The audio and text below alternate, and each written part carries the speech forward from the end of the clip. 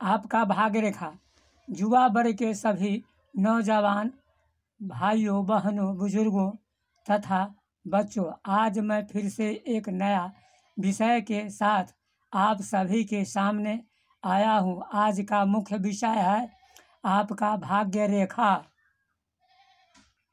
मकर संक्रांति के शुभ अवसर पर यह वीडियो मैं आप लोगों के पास भेज रहा हूँ। भाइयों, आपका भाग्य क्या कह रहा है, यह जानने के लिए इस वीडियो को ज़रूर देखें भाग्य रेखा का जीवन में सर्वोत्तम महत्व माना गया है। युवा वर्ग के सभी साथियों, भाग्य रेखा का ग्यारह स्थानों से उद्गम होता है। हथेली में किसी भी पर्वत से प्रारंभ होकर या रेखाओं से निकलकर शनि के पर्वत पर पहुँचता है, उसे भाग्य रेखा कहते हैं। कुछ व्यक्तियों के हथेली में भाग्य रेखा नहीं होते हैं, जिसके हाथ में भाग्य रेखा नहीं होते हैं, वे कर्म के द्वारा सफलता को प्राप्त करता है। यह नंबर एक, मणिबंध के ऊपर से निकलने वाली भाग रेखा यह सर्वोत्तम भाग रेखा माना गया है।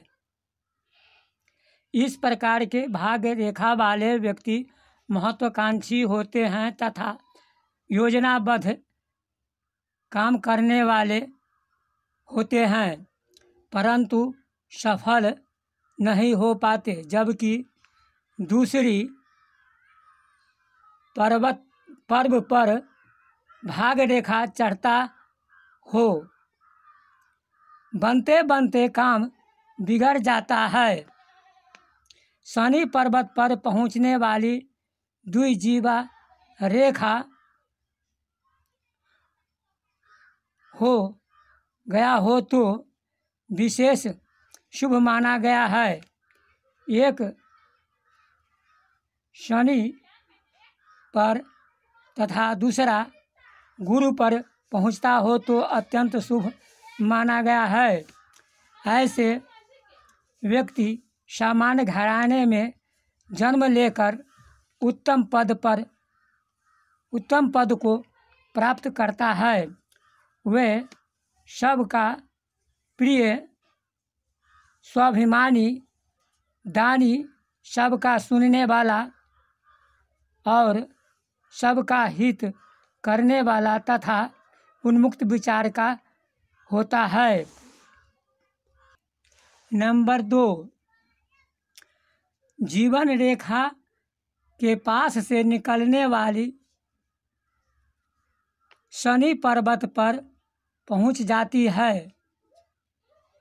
इस प्रकार के रेखा श्रेष्ठ माना गया है, परंतु मध्यमा उंगली के दूसरे पर्व पर चढ़े या चढ़ने का प्रयत्न करे तो यह बाधाओं का पैदा करता है। ऐसे व्यक्ति साहसी होते हुए परेशानियों से घेरे रहते हैं। ये व्यक्ति बहुत मुश्किल से सफलता प्राप्त करते हैं, जिसके हाथ में यह शनि पर्वत पर पहुँचता है, वह व्यक्ति प्रयत्नों से अट्ठाईसवें वर्ष में भाग उदय होता है। नंबर तीन, शुक्र पर्वत से निकलने वाली भाग रेखा यह रेखा जितना ही स्पष्ट निर्दोष होता है, उतना ही शुभ माना गया है। यह रेखा जीवन रेखा को काटकर जिस उम्र में निकलती है, उस समय व्यक्ति परेशानियों से गुजरता है। उस समय भयंकर दुर्घटना हो सकता है। शुक्र पर्वत से निकलने वाली भाग्य रेखा बालों को विवाह के बाद, विवाह के बाद भागोदय होता है। ऐसा समझना चाहिए। प्रेम के क्षेत्र में बहुत चढ़ा बढ़ा होता है। ससुराल से बहुत अधिक धन मिलता है। इनके स्त्री सुंदर आकर्षक तथा तरक भरक में रहने वाली होती है। इनका बुढ़ापा कष्ट का होता है। वैवाहिक जीवन सुखमय नहीं होता। भाग्य रेखा पर दीप का चिन्ह हो तो पत्नी पति में मतभेद के वजह से एक साथ नहीं रहते हैं। नंबर चार, मंगल पर्वत से निकलने वाली भाग रेखा, यह रेखा शुभ माना गया है। ऐसे व्यक्ति का भाग उदय युवावस्था के बाद ही होता है। शिक्षा के क्षेत्र में बराबर बाधाएँ दिखाई देता है। उच्च शिक्षा प्राप्त नहीं कर पाते हैं। यदि कोई यदि कोई सहायक रेखा न हो तो अपने ही की हुई गलती के पश्चाताप करता है। मित्रों का सहयोग नहीं मिलता है। उन्नति के लिए कठोर मेहनत करना पड़ता है। भागोदय विलंब से होता है। ऐसे व्यक्ति पुलिस या मिलिट्री में विशेष उन्नति कर सकता है। नंबर पाँच। यह रेखा जीवन रेखा को काटती हुई शनि पर्वत पर पहुँचे या पहुँचने का प्रयास करती है।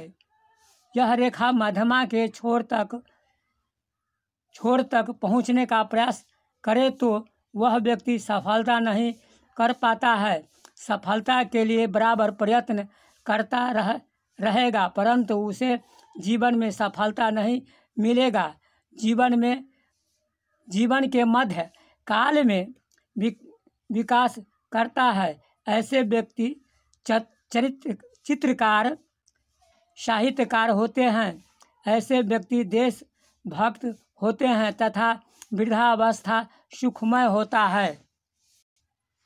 राहु क्षेत्र से निकलने वाले भाग्य रेखा सौभाग्यशाली माना जाता है।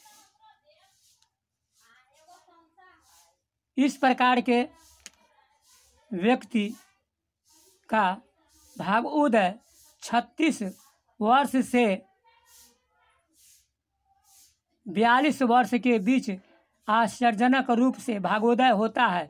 ऐसे व्यक्ति जीवन का प्रारंभिक अत्यंत कष्टदायक होता है, परंतु युवा और वृद्धावस्था अत्यंत सुखद होता है। जीवन के उत्तरा काल में उत्तर काल में धन, मान, पद, प्रतिष्ठा आदि प्राप्त होता है। यदि कोई बाधक रेखा न हो तो तथा गुरु पर्वत की ओर एक रेखा निकलता हो। मैं संत श्री कृष्ण भगत परसौनी अपने वाणी को यहीं विराम देता हूँ। लाइक करें शेयर करें सब्सक्राइब करें तथा बेल आइकन को ज़रूर दबावें। शेष भाग दो में देखेंगे। देखने के लिए आप सभी को शुभकामनाएँ तथा साधुवाद। जय हिंद, जय भारत, जय बिहार, जय मिथिला।